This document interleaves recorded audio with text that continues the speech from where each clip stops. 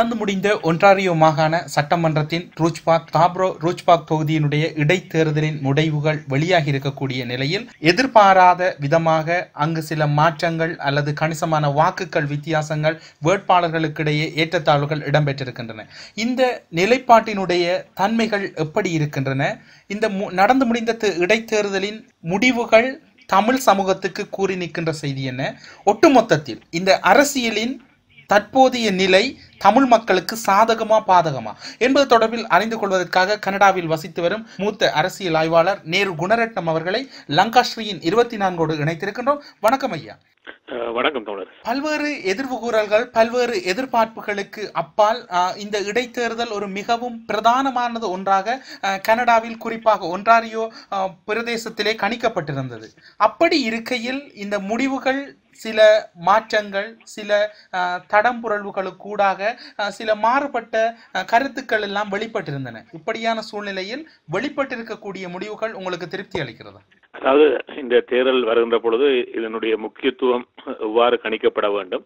இதை தமிழினம் எவ்வாறு எதிர்கொள்ள வேண்டும் என்று பல்வேறு விடயங்களை நான் வெளிப்படையாகவே கடந்த சில வாரங்களாக பகிர்ந்து வந்திருக்கிறேன். அதில் சில விடயங்களை தெளிவாக சொல்லியிருந்தேன். இதில் என்ன இருக்கிறது? இதில் என்னத்தை தமிழினம் சாதிக்கலாம் என்பதையும் சொல்லியிருந்தேன். அதாவது இந்த தொகுதியை பொறுத்தவரை மூன்று பிரதான கட்சிகளின் சார்பிலும் தமிழ் வேட்பாளர்களே களமிழங்கக்கூடிய சூழலை ஏற்படுத்தி இருக்கலாம். அதை தமிழர்களே கோட்டை விட்டார்கள் தான் சொல்லுவேன். அதனால் ஒரு பிரதான கட்சியினுடைய வேட்பாளராக தமிழர் இல்லாமல் போகின்ற ஒரு சூழல் உருவானது. அது இரண்டு தமிழர்களை மாத்திரம் களத்தில் இறக்கிவிட்டது.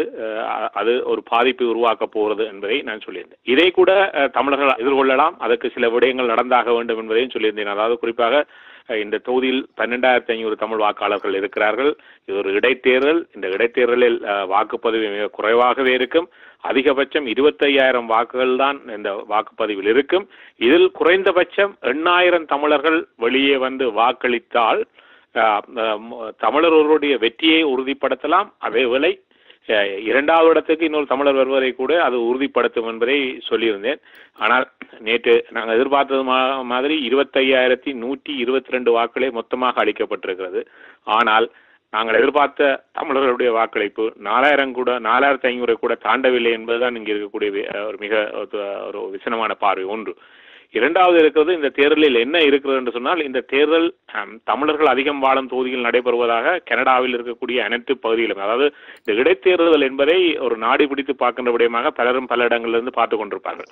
இப்போ அவர்களுக்கு அதாவது இன்றைய சூழலில் எங்களுடைய கட்சி நிலவரம் எவ்வாறு இருப்பது இது மத்தியில் இருப்பவர்களும் பார்ப்பார்கள் மாநிலத்தில் இருப்பவர்களும் பார்ப்பார்கள். அப்போ எல்லாரும் பார்த்து கொண்டிருக்கக்கூடிய ஒரு தேர்தலாக என்ன ஒரு ஒரு பொது தேர்தல் என்றால் அது பல இடங்களில் நடைபெறுகின்ற பொழுது அது தெரியாமல் போய்விடும். ஆனால் ஒரு தொகுதியில் நடைபெறுகின்ற பொழுது அனைவருடைய பார்வையும் குவிந்திருக்கக்கூடிய நிலையில் தமிழர்கள் தங்களுடைய அரசியல் பலத்தை வெளிப்படுத்த கிடைத்த ஒரு அரிய சந்தர்ப்பமாக நான் இதை சொல்லுவேன். இது இன்னொரு இருபது ஆண்டுகளுக்கு இப்படியான ஒரு சந்தர்ப்பம் கிடைக்குமா என்பது சொல்ல முடியாது. அவை கிடைத்திருக்கக்கூடிய அந்த சந்தர்ப்பத்தை தமிழ் மக்கள் ஒன்றாக திரண்டு அந்த தங்களுடைய பலத்தை வெளிப்படுத்தி இருந்தார்களாக இருந்தால் கெனடி அரசியலில் நீண்ட காலமாக ஒரு அரசியலில் வலுவுள்ள சக்தியாக தமிழர்கள் தங்களை நிலைநிறுத்தி இருக்கலாம். அதை செய்யவில்லை என்று சொன்னால் தமிழர்கள் அரசியலில் மிக பலகீனமான சக்தியாக வெளிப்படுவார்கள். இது நீண்ட காலத்துக்கு கனடிய தமிழினத்துக்கு மோசமான பின்விளைவுகளை ஏற்படுத்தும் என்பதையும் நான் வெளிப்படையாக சொல்லியிருந்தேன். ஆனால் அதுக்கு ஒன்றி ஒன்று நடந்தாக வேண்டும். எங்களுடைய மக்களிடம் இந்த செய்தியை காவி சென்று மக்களிடம் அந்த செய்தியை சேர்ப்பித்து அவர்களை இந்த வாக்களிப்பு நிலையங்களுக்கு அழைத்து வருகின்ற ஒரு ஒரு செயற்பாடு முதன்மையாக பெற்றிருக்க வேண்டும். அதை இந்த நாட்டில் யாரும் செய்யவில்லை. எந்த அமைப்பும் செய்யவில்லை எந்த தனிநபர்களும் செய்யவில்லை எந்த தலைமை கண்டு சொல்வர்களும் செய்யவில்லை. கூறுகின்ற அந்த விடயத்துக்கு முன்னா முதன்மை முதலாக நாங்கள் இன்று இருக்கக்கூடிய சூழ்நிலையில் அங்கே இருக்கக்கூடிய ஊடகங்கள் குறிப்பாக அனைத்து நீங்கள் கூறுகின்றது போன்று அங்கே இருக்கக்கூடிய அனைத்து அரசியல் சக்திகளின் பார்வையும் கூட ஒன்றாரியோவில் இருக்கக்கூடிய அந்த இடைத்தேர்தலை நோக்கி இருந்தது. அப்படி இருக்கையில் ஏன் அங்கே இருக்கக்கூடிய தமிழ் சமூகம் திட்டமிட்டு இரு தமிழர்களையும் அந்த தேர்தல் அரங்கிலிருந்து அகற்றி விட்டது என பொருள் கூறலாமா? தமிழர்கள் போட்டி போடுகிறார்கள். ஒரு தமிழரை முதல் தடவையாக முதல் தடவையாக ஒன்றாரிய பாராளுமன்றத்துக்கு தெரிகின்ற வாய்ப்பு இருக்கிறது என்பதெல்லாம் தெரிந்திருந்துமே அந்த மக்களை அதை நோக்கிய அணிசேர்ப்பு என்பது ஒரு அதாவது ஒன்றாரியோ மாநிலத்தில் இருக்கக்கூடிய தமிழ் மக்களால் தான் இந்த தோல்வி இடம்பெற்றது என்பதை நீங்கள் ஏற்றுக்கொள்கிறீர்களா? நிச்சயமாக எங்களுடைய மக்கள் தங்களுடைய கடமையை செ- செ- செ- செய்யாத விட அதாவது தமிழ் மக்கள் அதாவது மொத்தமாக அளிக்கப்பட்ட வாக்குகளே இருபத்தி எட்டு தசம் ஏழு சதவீதம் தான் முழுமையான வாக்குகள். ஆனால் தமிழருடைய வாக்கு இருபது சதவீதம் கூட அப்ப அப்போ அப்ப த- த- தமிழர்கள் போட்டி போடுகின்ற நேரத்தில் தமிழர்கள் தங்களுடைய வாக்கு பலத்தில் இருபது சதவீதத்தை கூட போடவில்லை ஆனால் மொத்த வாக்குகளே இருபத்தி எட்டு தசம் ஏழு சதவீதம் இருந்திருக்கிறது. அவை இருபது சதவீதம் மக்களே வாக்களிக்க தயாராக இல்லாத ஒரு இடத்தில் எவ்வாறு ஒரு தமிழரை பிரதிநிதியாக தெரிவு செய்வது வாய்ப்பாகும்? ஏன்னு சொன்னால் அதுதான் நான் இங்கு நடந்துவிட்ட ஒரு சோக நிகழ்வு அதுக்கு பல காரணங்கள் இருக்கிறது என்ன சொன்னால் இந்த தமிழர்கள் த- இனம் என்பதை கடந்து கட்சி ரீதியாக சிந்திப்பவர்களாக மாற்றப்பட்டார்கள். கட்சி ரீதியாக பிரிந்து நின்று தங்களுக்கு மோதிக்கொண்டார்கள். தமிழர்கள் கட்சி ரீதியாக பிரிந்து நின்று மோதுவதை பார்த்தவர்கள் த- சாதாரண பொதுமக்கள் அந்த- அந்த தேர்தல் களத்திலிருந்து தங்களை விலக்கி கொண்டார்கள். என்று சொன்னால் அங்கு இனம் முதன்மைப்படுத்தப்படவில்லை. இனத்தினுடைய பலம் என்பதை அதிகரிப்பதற்கான ஒரு புறச்சூழல் என்ற நிலையில் சிந்திக்கப்பட்டு இது நகர்த்தப்படவில்லை. வெறுமையாக மூன்று கட்சிகளுக்கும் பிரிந்து நின்று கொண்டு தமிழர்கள் தங்களுக்கு மோதிக்கொண்டார்கள் இதை தமிழ் தேசிய தலைமை பலமுறை சொல்லுவார். அதாவது எப்பொழுதும் நாங்கள் ஏனையவர்களுக்கு சேவன் செய்வர்களாகவே இருக்கிறோமே ஒழிய எங்களையும் எங்களுடைய உரிமைகள் சார்ந்த விடயங்களை நிலைநிறுத்திக் கொள்வர்களாக நாங்கள் மாறவில்லை என்பதை அவர் பலமுறை சொல்லியிருக்கிறார். அதை இன்றைய சூழல் புறச்சூழலிலும் எங்களுடைய தமிழினம் தொடர்ந்து நிரூபித்துக் கொண்டிருக்கிறது. தொடர்ச்சியாக ஏனையவர்களுக்கு சேவன் செய்வர்களாக மாறி இருக்கிறார்களே ஒழிய தங்களை இந்த த- தாங்கள் இருக்கக்கூடிய தளங்களில் நிலைநிறுத்திக் கொண்டு தங்களையும் ஒரு சக்தியாக இந்த தளத்தில் மாற்றிக்கொண்டு அதனூடாக தாங்கள் ஒரு பலமுள்ள சேக தாயவர்களுக்கு இருப்போம் என்கின்ற நிலைக்கு மாறுவதை தவிர்த்து ஏனையவர்களையே தங்க நிலையாக ஏனையவர்களுடைய சேகவன் செய்வர்களாகவே தமிழர்கள் இருக்கிறார்கள். அதைத்தான் இந்த தேர்தலும் தொடர்ச்சியாக வெளிக்காட்டி நிற்கிறது. இது தமிழர்களுடைய இருக்கக்கூடிய உச்சமான குறைபாடினுடைய தொடர்ச்சியான வெளிப்பாட்டாக கூட நாங்கள் சொல்லிக்கொள்ளலாம் அதே நேரம் வந்து வெற்றி பெற்றிருக்கக்கூடிய பிற மொழி பேசக்கூடிய அல்லது பிற சகோதர இனத்திலிருந்து வந்திருக்கக்கூடியவர் கூட கணிசமான தமிழ் சக்திகள் தமிழ் மக்களினுடைய ஆதரவோடு ஓரளவு ஆதரவினை பெற்றிருக்கக்கூடியவர் என்கின்ற கருத்துக்கள் கூட நடந்து முடிந்த தேர்தலின் பிற்பாடு அங்கு வெளியாகி கொண்டிருக்கின்றது. அப்படி இருக்கையில் இன்று வரைக்கும் உலகத்திலே அதாவது ரெண்டாயிரத்தி ஒன்பதுக்கு பிற்பாடு விடுதலை புலிகளுடைய தலைமை கூறியதாக ஒரு கருத்தினை கூறுகின்றார்கள்.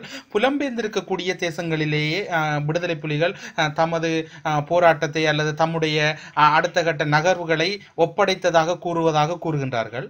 அப்படி இருக்கையில் இப்படியான சூழ்நிலையில் ஒற்றுமை பலவீனப்பட்டிருக்கக்கூடிய தன்மையில் தமிழினத்தினுடைய வெற்றி என்பது சாதகமா?